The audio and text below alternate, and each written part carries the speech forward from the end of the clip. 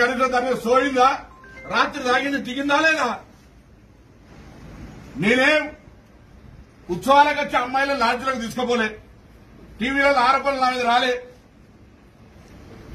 నాకు తెలియదు నాకే తెలియదు. ఇంతకుముందు నేను ధర్మం ధర్మన్నట్టు ఎన్నికలు నడిచినాయంటే ఇంకోటి నా పిల్లలు ఇచ్చేది ఉన్నా ఆ ఆకారం చూస్తే అమ్మాయిలు కూడా దగ్గరికి ఎట్లా వస్తారు నాకు తెలియదు కానీ సిగ్గనిపించాలి కదా. ఆ ఇంట్లో వాళ్ళు కూడా నాకు కదా కుటుంబ సభ్యులు దగ్గరే కానీ ఆ కుటుంబ సభ్యులు కూడా వీళ్ళని చూస్తే ఇంట్లో ఎట్లా భద్రతగా వీరి మధ్యలో తిరగాలంటే ఎంత అభద్రతగా ఫీల్ అవుతుండొచ్చు అరే అటువంటి నన్ను రాజకీయాలు విద్యాయస్ నేను చెప్తున్నా మా నాయన రాజకీయాలే. నేను పంతొమ్మిది వందల ఎనభై ఏడుల ఏబీవీకి వ్యతిరేకంగా ఎస్ఆర్ఆర్ డిగ్రీ కాలేజీలో అధ్యక్షుడిగా గెలిచి నేను రాజకీయం స్టార్ట్ చేసిన.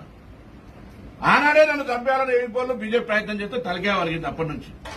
ఆనాటి నుంచి నిరంతరంగా ఫుల్ టైమర్గా ఒక మామూలు రాజకీయం లేనటువంటి కుటుంబం నుంచి వచ్చి జిల్లా అధ్యక్షుడినైనా రాష్ట్ర అధ్యక్షుడినైనా మార్కెట్ చైర్మన్ అయినా ఎంపీ అయినా కన్వీనర్ అయినా తెలంగాణ ఉద్యమం కోసం ఎట్లా ఎక్కడైనా చిన్న మద్దతు పెట్ట వెదవనా కొడుక? నీ దగ్గర నీకున్నది ఇక్కడ నీ పార్టీ శాసనసభ్యుడు ఓడిపోతే బలైన వర్గాల మంత్రి కావచ్చని నక్క లెక్క కుక్క లెక్క అడ దాక్క కూసుని నువ్వు ఇవాళ ఇక్కడ శాసనసభ్యుడు ఓడగొట్టడానికి ప్రయత్నం చేసినావు. కాంగ్రెస్ అభ్యర్థికి పైసలు ఇచ్చి ఇది జగవరిగిన సత్యం కాదు మీకు తెలియదా నేను అడుగుతున్నా అందుకే. రాజకీయాల్లో గెలుపు ఓటం లేస్ కాంగ్రెస్ పార్టీ నీలా నేను ఒకటే మళ్ళా కూడా సవాల్ నువ్వు మొగోడు అయితే దీనికి అనేక అర్థాలున్నాయి నువ్వు మొగోడు అయితే తెలుగుదేశంలో ఉండి గెలిచి నన్ను అంటే అర్హత ఉండేది.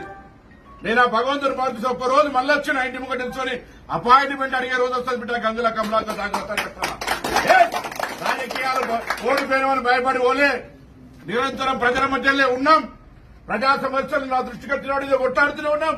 కాంగ్రెస్ పార్టీ కార్యకర్తలకు అండగా ఉన్నాం. ఇవాళ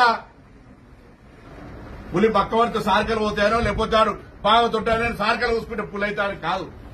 ఏ అక్కడ దొడ్డుండొచ్చు ఆర్థికంగా ఉండొచ్చు. గెలిపే క్రైటీరియా అంటే నువ్వు ఇంకా పసాల గెలిచినా నిన్ను నాయకుడు అన్నారు. ఏ సోడిపోయిన పొన్నం ప్రభాకర్ బరాబర్ తెలంగాణ రాష్ట్రంలో నాయకుడు అంటారు? రా బహిరంగ చర్చ ఊరికేనే మంది వాగాదులు ఉన్నారని. అరే నువ్వు పార్టీ మారినావా లేదా? మారినాక నువ్వు ఇంకెందుకు నువ్వు వ్యభిచారి కింద నువ్వు నువ్వు పార్టీ ద్రోహం చేసినట్టువే కదా నీకు ఎన్టీ రామారావు. నమ్మి టికెట్ ఇస్తే. నేను ఒక్కటే మాట నేను చిన్నగా రెండు వేల పద్నాలుగులో ఒకవేళ మేము పార్లమెంట్ సభ్యులు వాళ్ళని మనం చర్చ జరుగుతోంది. అరే ఎందుకు తెలంగాణ పార్లమెంట్లో మళ్ళా గెలవలేకపోయి? నేను కాదు పాపం బందా జగన్నాథ్ రాజయ్య వివేక్ గారు. మధు యాష్కి. అందరూ ఓడిపోయినవే. తెలంగాణ కోసం పోరాడిన తర్వాత ఓడిపోతే దానికే మాకెన్నటి బాధలే? తెలంగాణ కోసం ప్రాణాలు అర్పించిన సంగతి ఏంది? అటువంటి ప్రాణాలు అర్పించినటువంటి దాని అధికారం మీద పేలాలు ఏర్పడుతున్నటువంటి తెలంగాణ ద్రోహుల సంగతి ఏంది?